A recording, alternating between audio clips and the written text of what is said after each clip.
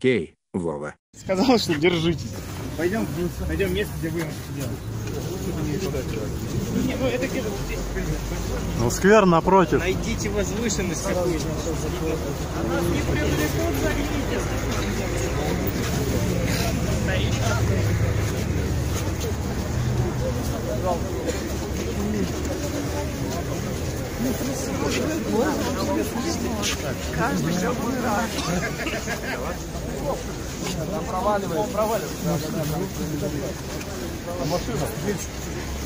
Переворачиваю.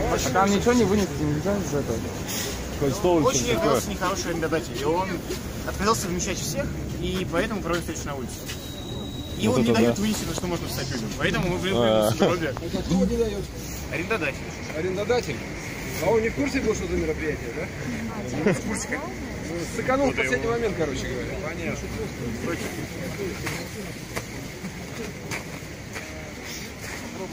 Не, не, очень, очень хороший сугроб. Показательный. Специально готовились провалился. к вашему приезду. Сугробы. Мэрия ваша Не чистили специально. Сугробы по всему городу можно ремонтировать.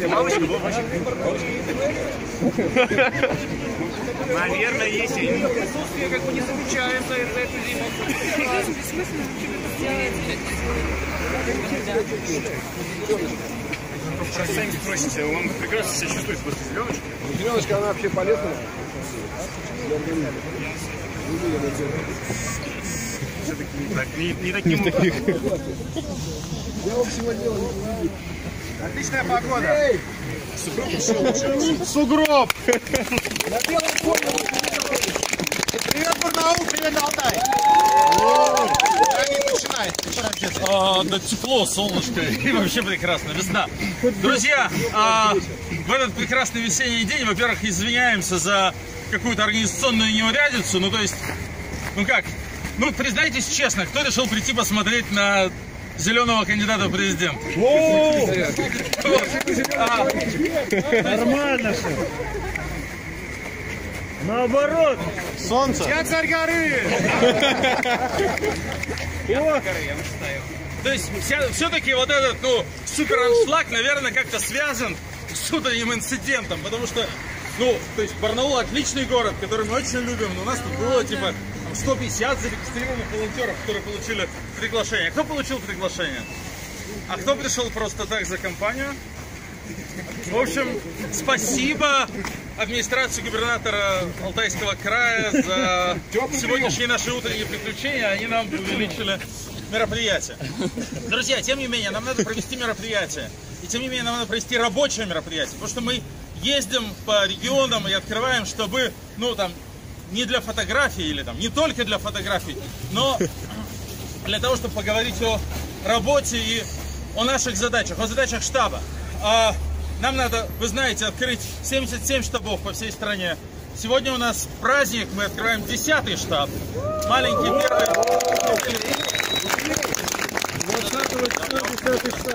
Сегодня вечером еще и в Бийске открываем штаб. Алтайский край станет первым регионом, где мы два штаба открываем.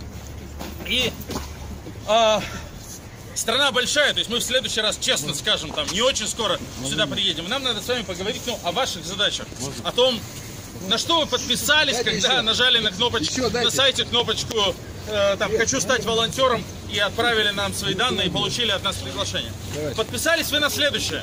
Вы подписались помочь нам собрать подписи для выдвижения Алексея кандидатом в президенты. Поможете?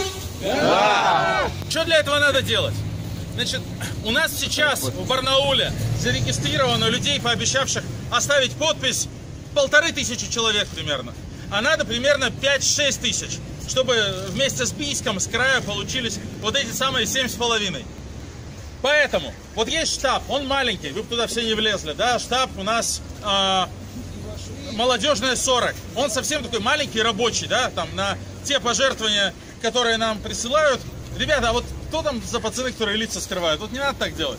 Давайте лица откроем и отойдем, хорошо? Ну, то есть, мы вчера в Новосибирске такого чувака еле отбили от толпы, которая его бить пыталась. Вам этого не надо. Ну вот, а, короче говоря, а, полторы тысячи подписей сейчас есть. И штаб «Молодежная 40», вы, наверное, уже знаете этот адрес, будет заниматься тем, что будет всех этих людей приглашать, а данные их паспортные проверять, готовить списки. А ваша задача, как волонтеров, за это время на сайте нарегистрировать, ну, там, еще 4-5 тысяч человек. И они тут точно есть. Мы знаем, что они тут есть. Мы знаем там по аудитории блога, по аудитории видеоблога, что здесь там живет там, 20 тысяч сторонников. Надо просто их убедить, не побояться, оставить подпись, зарегистрироваться на сайте, и все у нас получится. Когда сугробы станут поменьше, и когда станет почище, э, мы начнем просто обычную уличную агитацию. То есть кубы и листовки, вот не знаю, если вы видели, как выглядела там московская мэрская компания 2013 года, вот такая же история. И эта история нам нужна для того, чтобы собрать эти 7,5 тысяч подписей. А в городах-миллионниках это попроще. Так, Здесь... не бить никого, пожалуйста. Поймали провокатора, прогоняйте его, не бить никого. У нас в Новосибирске уже побили одного лицеметателя, мы больше не хотим. Отпустите, это весь актив Путина. Я это Не бейте, пусть, пожалуйста, в Единую Россию. Ребят, не обращайте внимания. Ну так вот, агитация начнется летом, когда станет почище. Штаб в ближайшее время начнется, э, начнет заниматься проверкой подписей. И ваша задача будет подгонять, подгонять новых и новых людей, убеждать знакомых, друзей, коллег, случайных людей, кого угодно. Это не так трудно, потому что наши идеи, их ну, все разделяют. Большинство людей хотят жить хорошо и не хотят жить плохо, не хотят мириться с коррупцией и так далее, и так далее.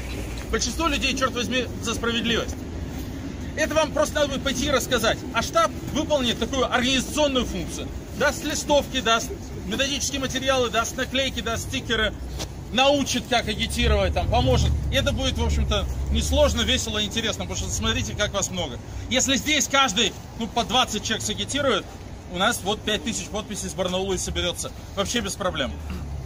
Вот. А, и еще что штаб будет делать, для того, чтобы вот из вас построить там, агитационную машину, такую, которая победит телевизор, Киселева, Соловьева, кого угодно. Он будет вас звать и разговаривать. То есть завтрашнего дня молодежная 40 там с 11 до 20 часов каждый день штаб работает, вы просто приходите и рассказывайте. Я такой-то, у меня там есть 15 минут времени в день, расскажите мне, чем я могу помочь. А я такой-то, у меня нет времени, но летом я возьму на две недели отпуск. Возьмете агитировать на кубы? Возьмем! И расскажем, как это делать научим. А я такой-то, у меня там времени тоже особо нет, но я поеду там на лето к бабушке в камень на оби дайте мне с собой там тысячу листовок, я их там распространю. Окей. То есть штаб с каждым поговорит, поймет, чем каждый может помочь и сделает вот такую ну, агитационную машину. Это займет какое-то время, но постепенно она у нас с вами заведется и поедет. Это будет не быстрый процесс, но мы с этим справимся. Штаб у нас отличный. Настолько отличный, что координатора сегодня в полицию забрали. Его зовут Артем Косовецкий, если вы не знаете. Ну, так случайно почему-то сегодня, значит, полицейские его решили за неоплаченный штраф подержать э, у себя. Нам это помешает? Нет. Конечно, не помешает. Артем завтра уже будет э, в штабе, молодежная 40 приходить. Вот что. Ну, еще начнем готовить наблюдателей. Кто уже был наблюдателем на выборах хотя бы раз? Ну вот, приходите, будете помогать нам готовить других. Тоже отлично, если у вас уже есть этот опыт. Вот, ничего сложного. Наблюдать, э, наблюдение, агитация, сбор подписей. У нас есть ровно год до выборов, у нас есть 9 месяцев до регистрации кандидата. Я уверен, что мы с вами все это э, сделаем. Настрой, ну просто на работу. И еще одно организационное. Ой. А, значит, а, а, еще одно организационное. 28 миллионов рублей мы сейчас собрали. Звучит как серьезная цифра, но вообще-то в масштабах страны полная фигня. Ну там, типа, нас- настоящая политтехнологическая компания по выборам там, губернатора крупного региона, такого как Алтайский край, типа у экспертов политтехнологов стоит 10 миллионов долларов. Губернаторская. А у нас президентская. Мы собрали пока 28 миллионов рублей. Но почему нам не надо сильно больше? Потому что у нас есть вы, потому что вы нам поможете. Почему мы должны там, бережно относиться там, ко всей нашей агитации, пользоваться ей разумно и так далее? Потому что реально все народные деньги. То есть мы не снимаем большое помещение и там, вынуждены с вами разговаривать на улице. Мы бережем там все наши стикеры и листовки, потому что реально вот Они пока я приедет милиция, быстрее. говорю, каждый присылает там кто по 50 рублей, кто по 100.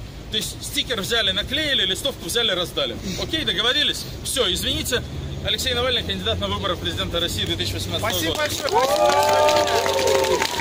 Пользуясь новым имиджем, хотел тебе сказать, типа, Калку надоело ждать, или что-то типа этого. Люблю, когда в каждом городе что-то новое. Обычно я встречаю всех, здороваюсь, такие люди ко мне тянутся, а тут сначала подходят такие, о! А потом я слышу, все проходят, и за спиной такой разговор, а он точно не пачкается уже, он точно нормальный. Значит, а, ребята, я предполагаю, исходя из того, сколько вас здесь собралось, мы не ждали столько людей в понедельник, будний день, что вам все равно, какого цвета у меня лицо, правильно? Да! Я считаю, что, ну, наверное, не самое важное, что не даст проголосовать за меня избирателям, это то, что меня однажды облили зеленкой. Потому что власть нам рассказывает, что Алтай это такой регион, где все привыкли молчать. Всегда молчат и не будут никому доверять, не будут слушать никаких там протестных речей. Но я не понимаю, мне кажется, люди везде одинаковые. Скажите, а на Алтае готовы терпеть воров? Нет! На Алтае хотят нормальных выборов? Да! На Алтае хотят нормальной зарплаты? Да! И поэтому я уверен, что, блин, йодом, я не знаю, красный крас, какая разница? Если мы говорим правильные вещи, если за нами правда, так значит мы и поведем за собой народ. И это очень хорошо видно, насколько им нечего нам противопоставить. Ну, если бы эта власть была бы уверена в своих 85%, ну пусть бы они пришли сюда, стал бы сюда единорос, там, ваш Карлин, или как вы, кто главный ваш жулик? Карен, Локтев. Локтев и Карлин, правильно, два, сладкая парочка. Сейчас, как вы видите, у меня есть большой мотив расследовать их деятельность. Стали бы сюда и сказали, ты, Навальный, все врешь. И средняя зарплата на Алтае 60 тысяч рублей. Это так? Нет. У них да. Хорошо. Вы сказали, нет, они сказали, ну ладно, ладно. Средняя зарплата на Алтае 45 тысяч рублей. Это так? Нет. Средняя зарплата на Алтае 30 тысяч рублей. Нет. А сколько? Официально, официально 21 тысяча, а реально же еще меньше. У меня был бы простой вопрос. Леонид, побудь Карлином, извини. Карлин, блин. Если зарплата у людей 21 тысяча, из-за ЖКХ нужно заплатить 7 или 6. Как им жить, объясни? Вот. Да. Поэтому, блин, им нечего сказать. Поэтому выбежали три чучундрика. Везде нас кидают яйцами и убегают. Вы эти брызнули зеленкой и убежали. Было очень смешно.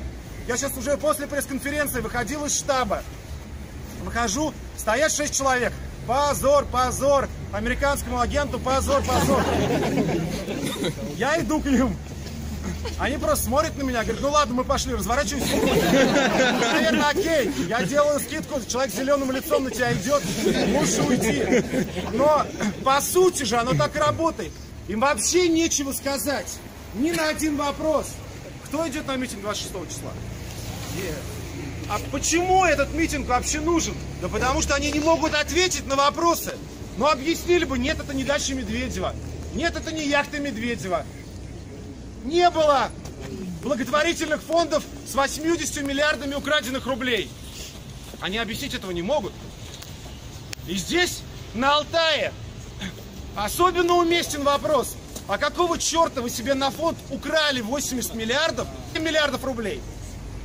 В 10 раз меньшая сумма в год идет на весь город. на всех врачей, на всех учителей, на ЖКХ, на дороги, но они поэтому в таком состоянии. Эти люди тырят по 80 и считают возможным вообще игнорировать наши ответы, наши вопросы. Мы позволим им это делать? Нет! Мы будем настойчивы? Да! Правильно, потому что, ну, конечно, они ждут, пока нам надоест. Ну, соберутся раз, соберутся два, выйдут 26-го, выведут такого-то, потом им надоест, и они разойдутся по домам. Потом им надоест, и они забудут о своих правах, и они вернутся к своей зарплате 18 тысяч рублей. 15. Вот 15. Вот важно, чтобы этого не произошло, потому что коррупция и эта власть, это бедность, это гарантированная бедность. С этой властью, которая выкачала нефти и газа на 3 триллиона рублей, 3 триллиона долларов, извините, и до сих пор не может дать людям зарплату в 500 долларов, с ней никогда не получится ничего хорошего. Никогда не, не дадут какого-то минимального богатства. То, что сейчас сидит в Кремле, это гарантия нестабильности, а гарантия нищеты.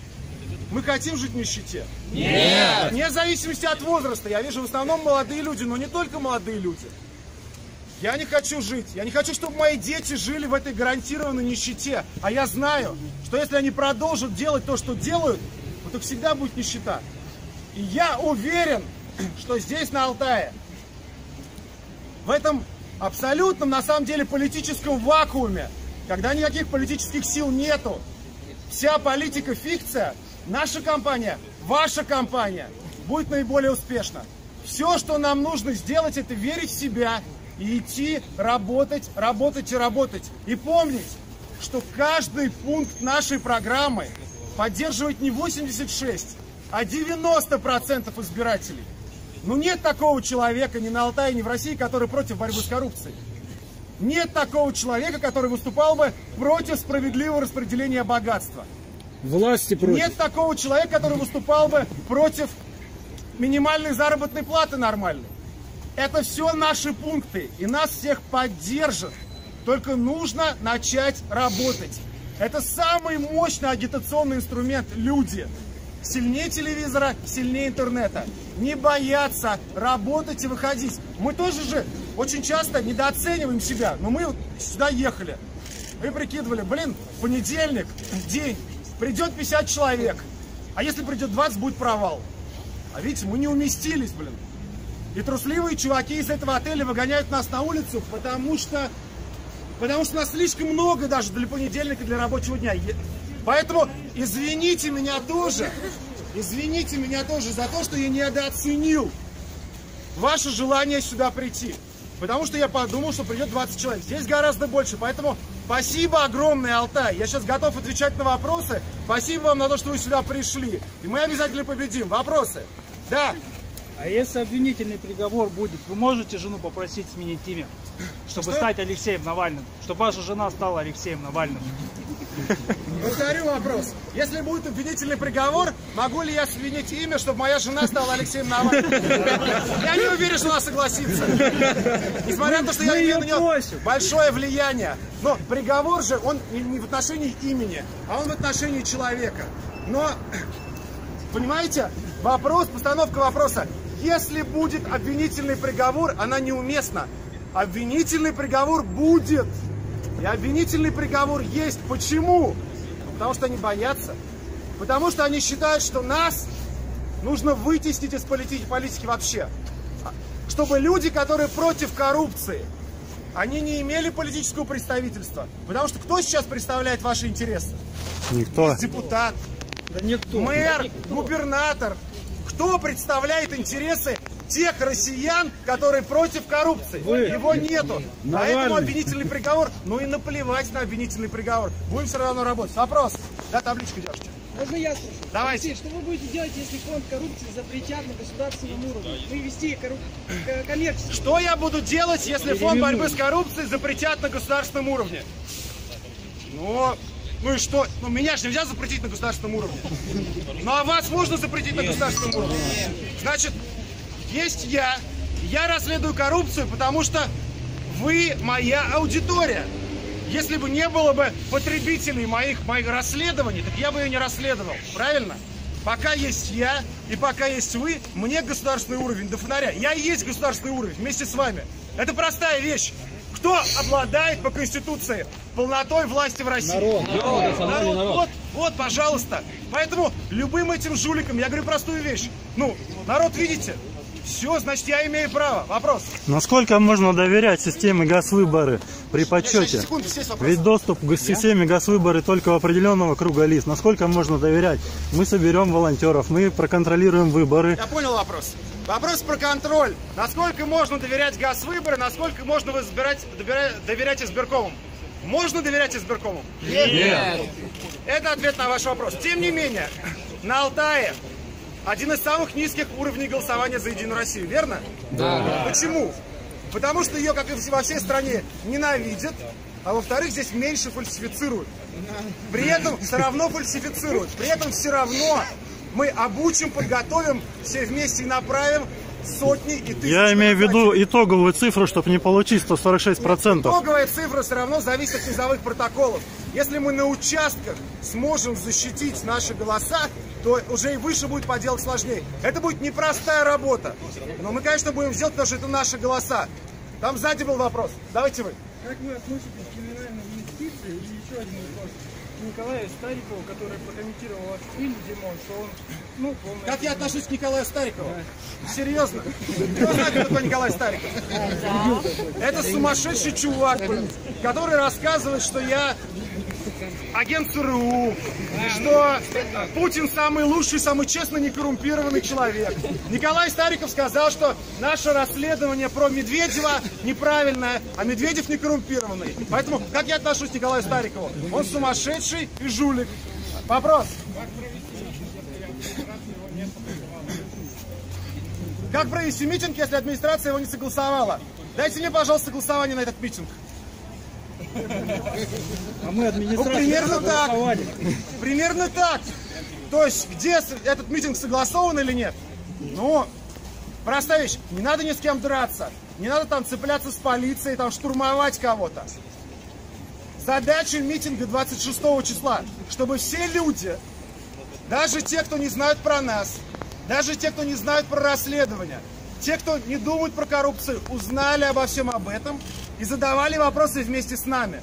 Поэтому нужно рассказать всему городу, что митинг будет, рассказать всему городу, что его пытаются запретить, потом прийти мирно, желательно не попадая никуда там, не закрываясь, ни с кем не сталкиваясь, и просто, не знаю, постоять с плакатиком, постоять просто рядом физически. Потому что на самом деле это же самое главное в политике. Люди, которые просто вместе где-то стоят. Это самая большая угроза, которая есть для этой власти. Вопрос. Возможно ли коалиция вас с Вячеславом Мальцевым? Возможно ли коалиция моя с Вячеславом Мальцевым? Но она в известном смысле существует. То есть у меня не стопроцентное, конечно, совпадение с ним во взглядах. Но, безусловно, я расцениваю как политического союзника, и он меня, и я поддерживал там его на выборах в том числе. Поэтому такая коалиция есть, конечно. А про прогулки можно ваших сторонников? Еще один вопрос. Что? Не пробовали договориться, чтобы он отошел? Зачем он нужен? Вы что Скажу так, это сложнее, чем с Мальцевым. А, ну, я пробовал.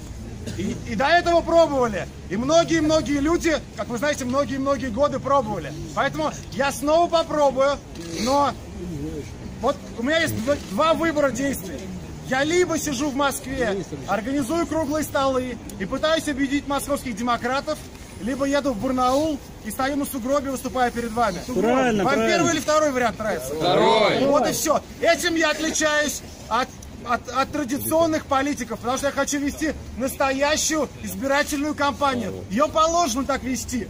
Если человек претендует на то, что он кандидат в президенты, ну, значит, езжай, блин, выступай, говори, уговаривай, отвечай на вопросы. Так это работает, и я хочу, чтобы это было именно так. Вопрос.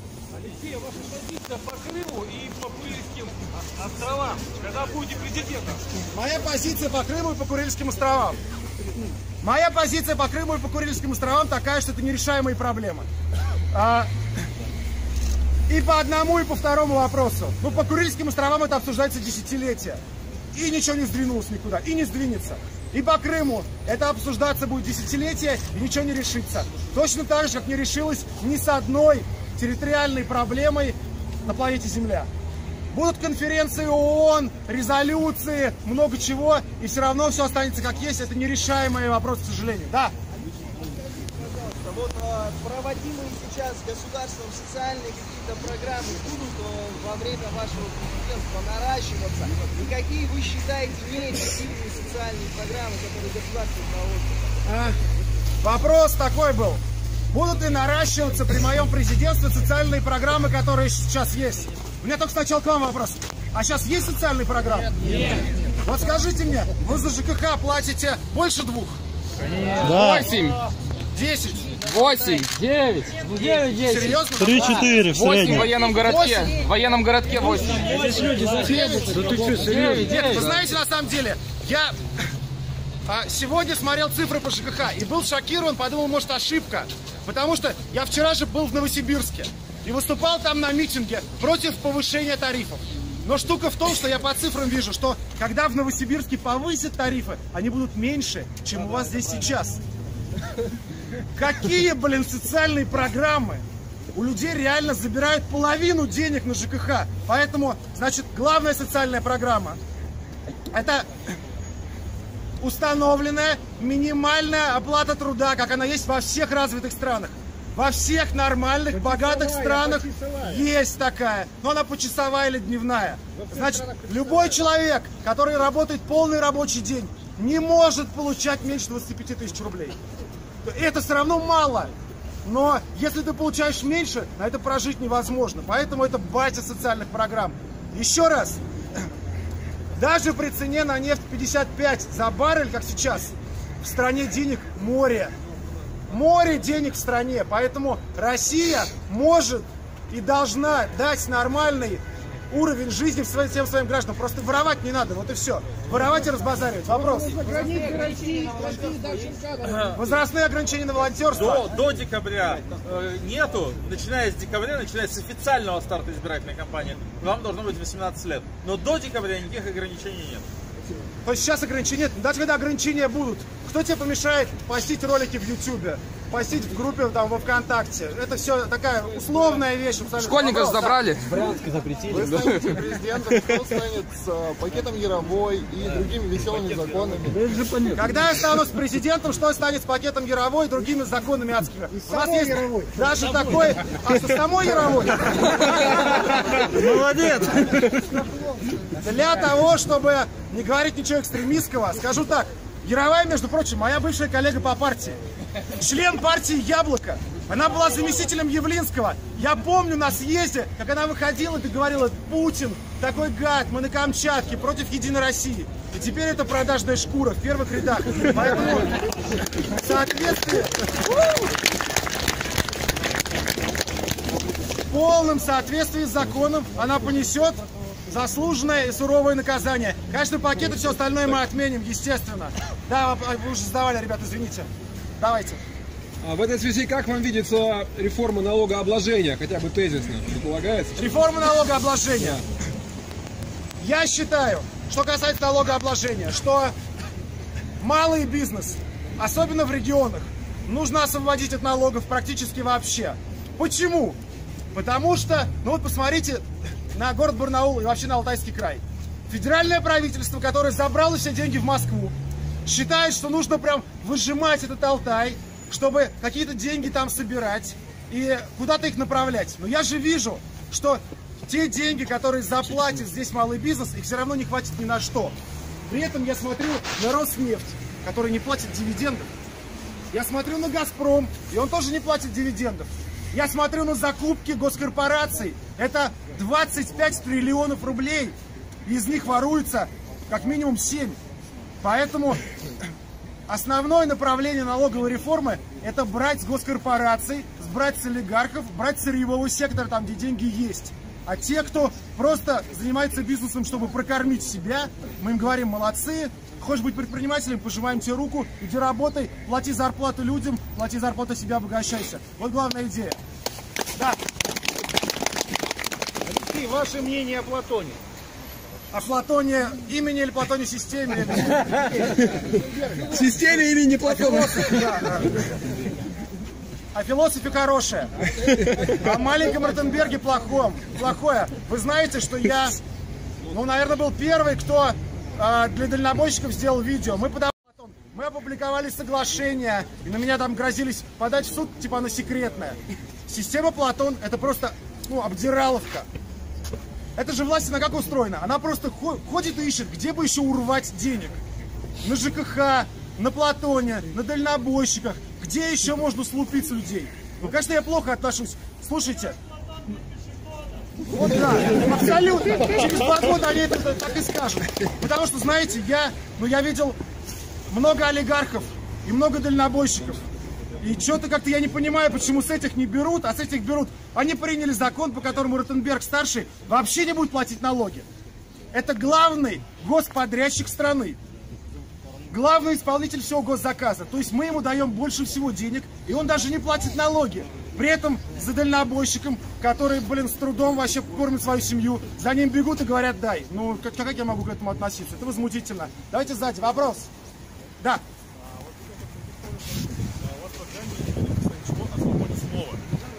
в России. Она преследуется, это мы даже не по вам сейчас. Любые методы.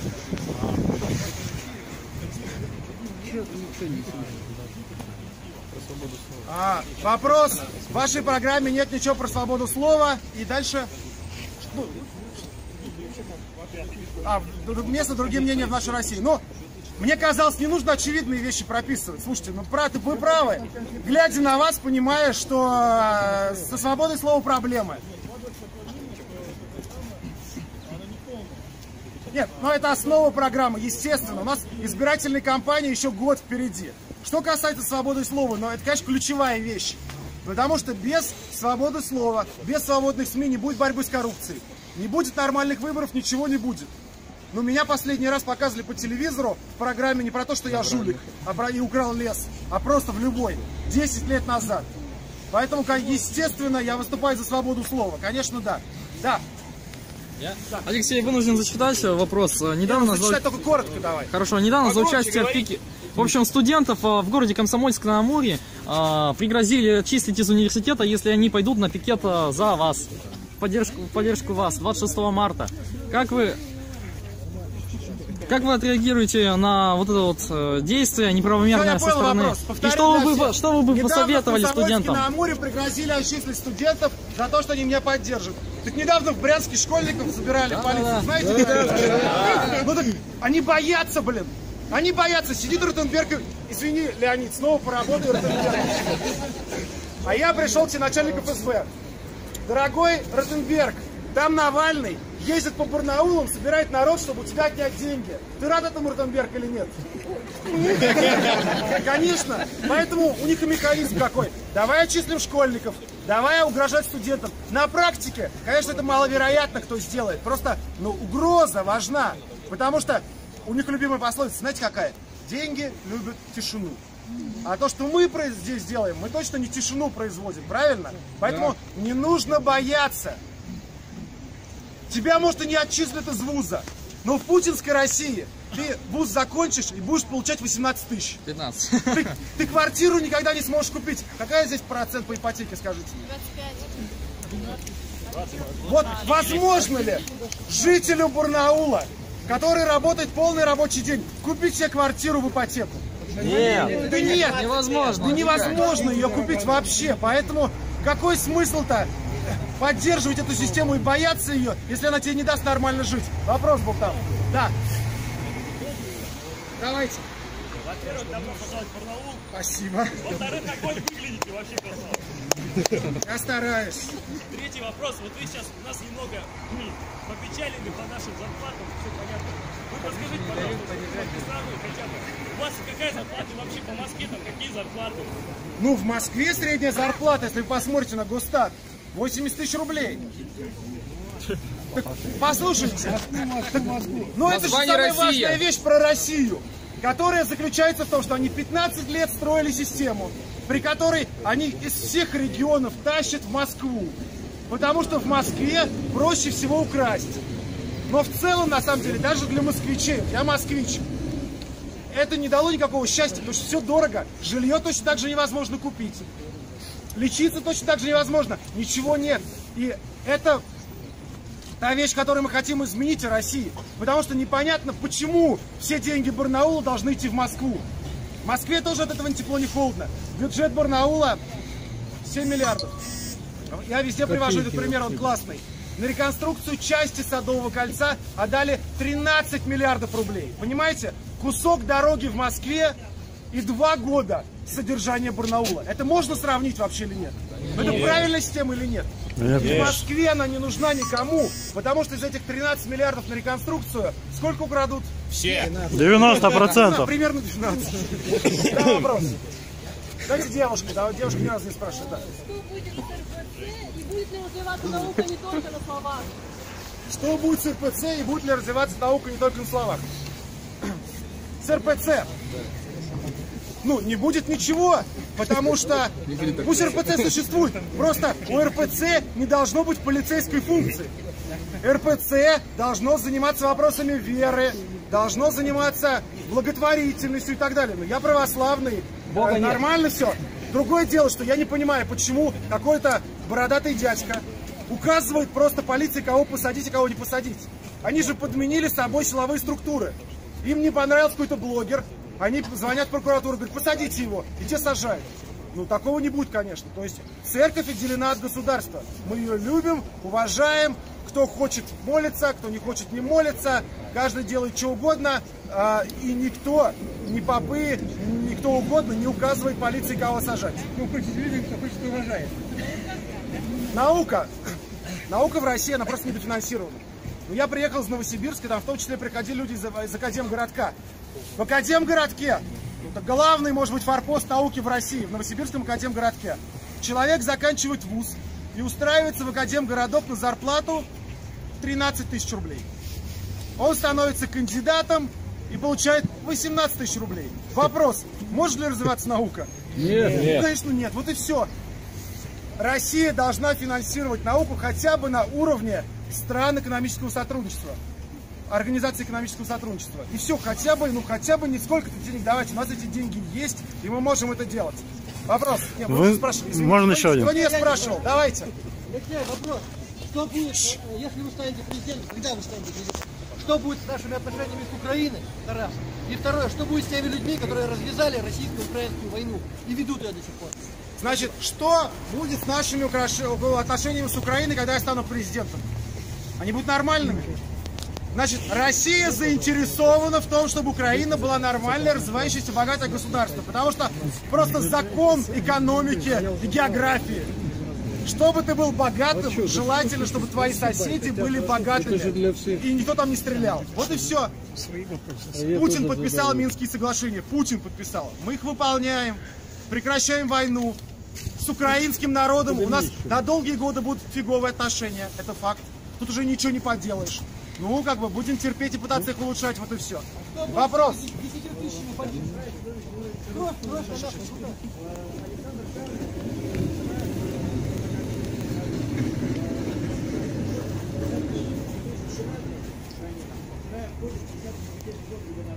Я не знал этого, кстати.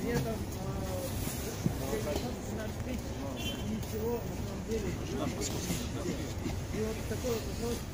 Их сын, э, Андрей Карлин, он возглавляет некий благотворительный фонд под названием стимулирования правовых исследований. Ага. Мы будем, э, как мы и вы будем бороться с коррупцией в Алтайском крае, когда вы станете. А, значит, понятно.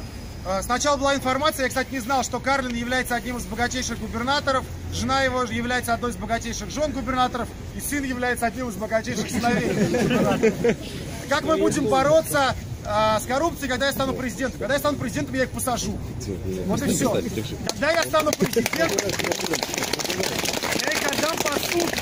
И с ними будут бороться не мы, а будут бороться те, кому положено бороться. Люди, у них погоны, у них это нормальная полиция, нормальная прокуратура, нормальный ФСБ. Следствие честное, честный суд присяжных, всех сажаем. Где мы возьмем Вообще честную это- полицию и честный Возьмем. ФСБ? А, Что касается бороться сейчас, для того, чтобы когда-то иметь возможность их посадить, нужно бороться сейчас. Нужно объединяться сейчас. Нужно в выборах участвовать сейчас. Верить в свои силы и ходить агитировать людей. Нас здесь ну, 250 человек. Сейчас я поеду еще э, в Бийск, открою штаб сегодня же. Может быть, кому-то покажется, что это немножко, но не существует другой политической силы, у которой больше волонтеров. Вот у вас был митинг здесь путинский недавно. Кто-то без... Вы сами смеетесь, да? Кто-то бесплатно на него пришел. Да, бюджетники. Ну, бюджетники пришли, их заставили. Не пришли. Они пришли бесплатно. Они еще и денег им не дали, понимаете? Бесплатно согнали. Ни у кого, кроме нас, нету на самом деле организованной группы людей, которые верят в идею.